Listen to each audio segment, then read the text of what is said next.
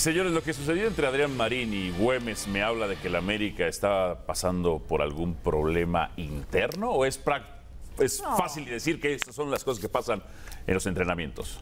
Adelante, Nuri. Gracias, gracias, Toño. No, yo- a mí me parece que América no está pasando por ningún mal momento.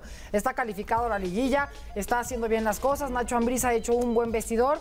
Y bueno, sabemos que el fútbol es así, sabemos que. Pero mal veces momento de vestidor, me refiero, ¿Pero por qué ¿eh? va a haber un mal momento de vestidor? No, algo que debe haber pasado en la cancha, algún roce, alguna jugada, no pasa absolutamente nada. Seguramente al final del entrenamiento del día se van a dar la mano como si nada hubiera En pasado. todo caso, yo lo entendería más tal vez producto de una frustración de un Javier Güemes que sí llegó con expectativas de convertirse en titular, de ser un hombre importante en la mitad de cancha América. ¿Por qué no pensar en ser un fijo en selección nacional? Y hoy en día le está costando trabajo. El Chepe Guerrero le ha ganado el trabajo. No sé qué tanto, además de una personalidad particular de Güemes puede haberle afectado. No creo que esté roto el vestidor. No. Creo que Güemes puede estar viviendo un momento Y difícil. además Marín es un chico que apenas le están dando la oportunidad. No creo que se quiera meter ya desde ahorita en algún problema, ¿no? Descartado. Sí, El vestidor total. no sufre mal. ningún problema. ¿eh?